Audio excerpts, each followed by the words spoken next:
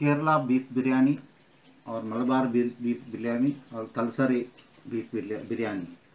So I've got here uh, about one kilo of uh, jeera rice.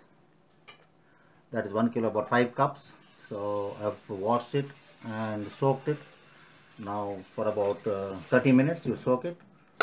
And uh, this is uh, about 1 250 grams of um, beef, so cubes. So I'm going to marinate that with some garam masala and ginger garlic paste, turmeric powder and salt. So this garam masala I've got here one teaspoon of um, uh, khus khus, one star anise, one uh, stick of uh, small stick of uh, cinnamon, five uh, cardam- green cardamom, one teaspoon of uh, fennel seed, and about uh, six cloves. So I am going to make uh, grind it into a fine powder, and some of it I am going to use it to marinate that. After that, I'll make a ginger garlic paste of about five cloves of uh, garlic and a small piece of ginger. Make ginger garlic paste and add about two teaspoons or two to three teaspoons to the beef. Little uh, garam masala, turmeric powder and salt and marinate for about 30 minutes. Then we are going to pressure cook uh, pressure cook that. So I'll come back to you now. For um, salt.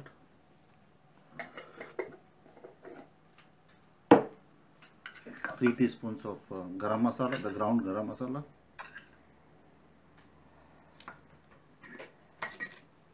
Three fourth teaspoon of turmeric powder or one teaspoon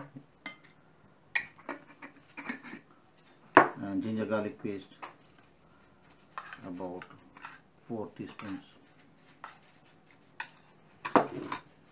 Mix all this well and marinate for about 30 minutes.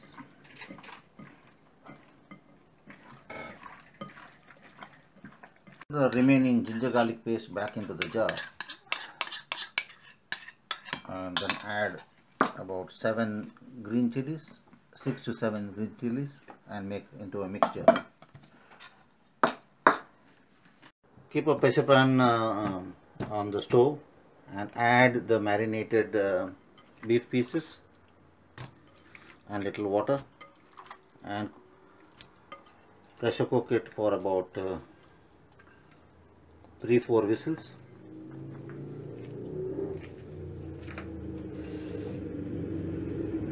so I'm close it. Put the whistle and let it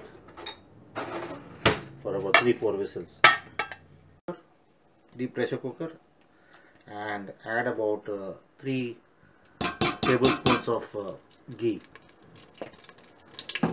Ghee is hot now. Add uh, the spices. So I got uh, 1 teaspoon of fennel seed about 15 uh, 20 peppercorns and uh, about 7 8 of cardamom green cardamom about 10 cloves uh, 10 cloves about uh, one one and a half inch of uh, cinnamon and one star anise. So i'm dropping it in the hot for a minute. And then for about 10 15 seconds and then i'm dropping the rice drained rice and frying it for a few minutes. Then I'm going to add uh, this is one about uh, 5 cups rice. So I'm going to add 8 cups of hot water after course and uh, about 1 cup of uh, beef stock. Here the boiled beef is it? The stock and then uh, as the pressure uh, the, the steam starts coming from the pressure cooker then I'm closing it and then pressure cooking it for I've fried the rice now. Now I'm going to add this 8 cups of hot water.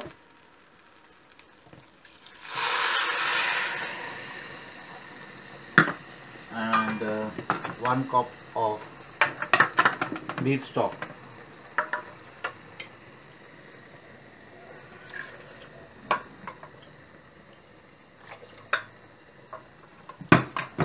And little salt.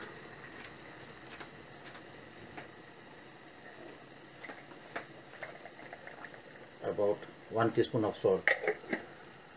Now I'll mix it well.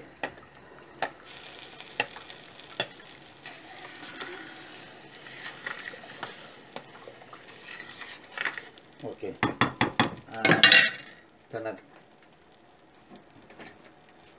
I'll close it and when the steam starts coming out but I will put the weight and for about 3-4 minutes on slow flame and allow it to uh, come to a whistle.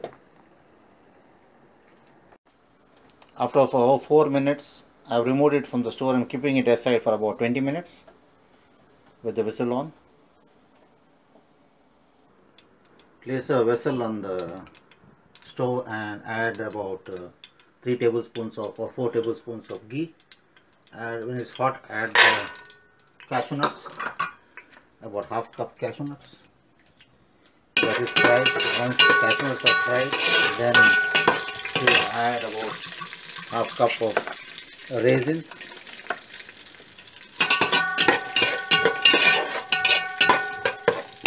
and same vessel and now add the mixture of ginger garlic and green chili.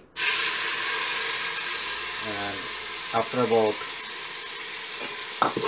30 seconds you add the sliced four sliced onions. And let it and little salt. About one teaspoon of salt and let it fry in it nicely for about uh, till become golden brown. 20 minutes open it. The rice is uh, done. Now transfer it to another.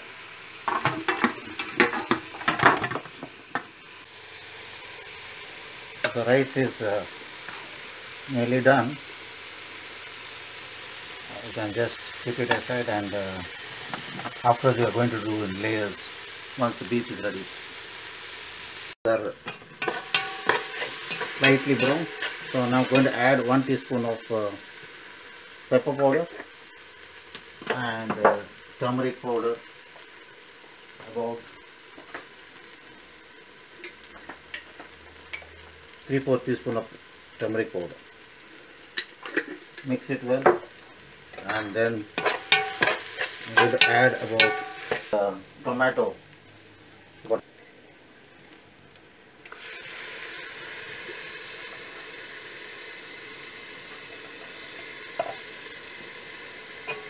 Mix well and let it cook on uh, medium flame for about 5 minutes.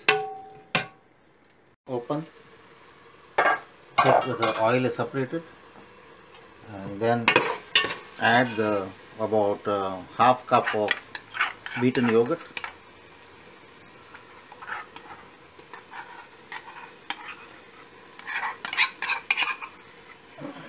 Mix well now the ground garam masala.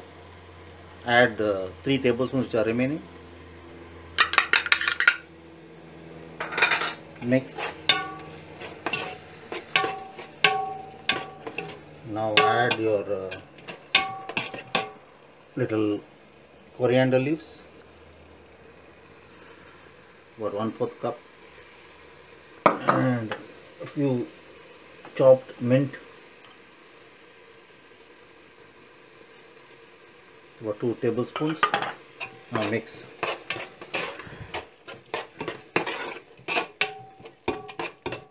Now add the beef boiled beef.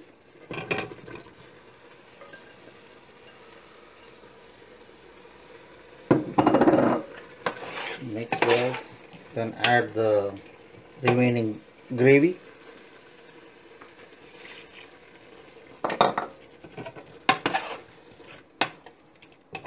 And allow it to cook in that for about uh, 10 minutes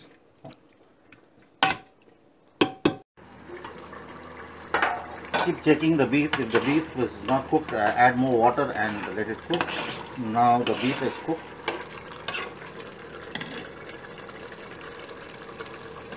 So I am going to now make layers of the rice.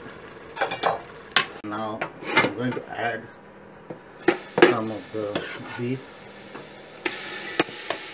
then the rice.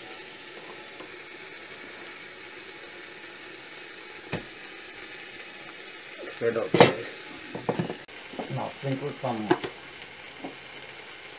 fried onions. This is ready-made fried onions from the supermarket. You can uh, otherwise uh, fry some uh, sliced onions and let it become dark brown and then uh, remove it on a paper towel and use that.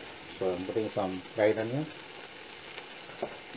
Now little coriander leaves, chopped coriander leaves, little mint, little cashew nuts, fried cashew nuts.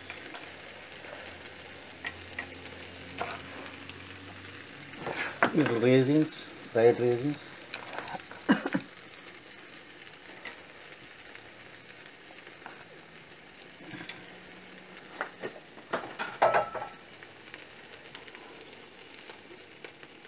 Two, two to three teaspoons of ghee.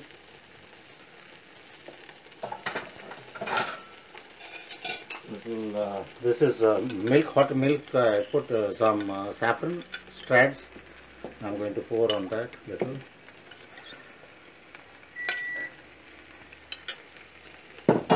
Now the next layer.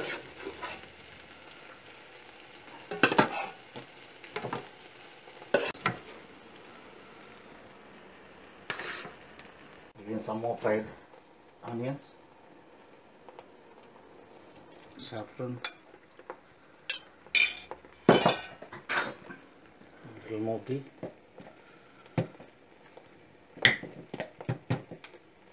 and then the final layer is remaining. If there is less meat, you can make only two layers or more meat depending on how many layers you've got.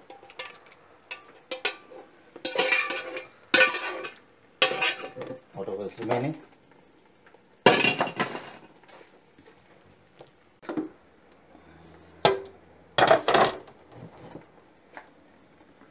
Now you put in the final lot the saffron water.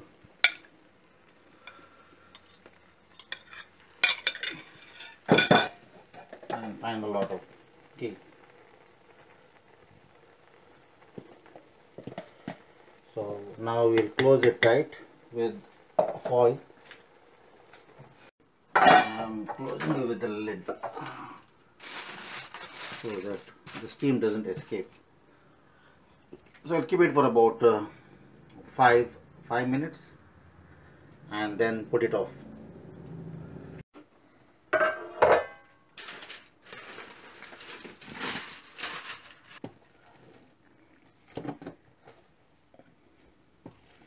you can serve it with the raita that is uh, cucumber and uh, yogurt or just uh, tomato yogurt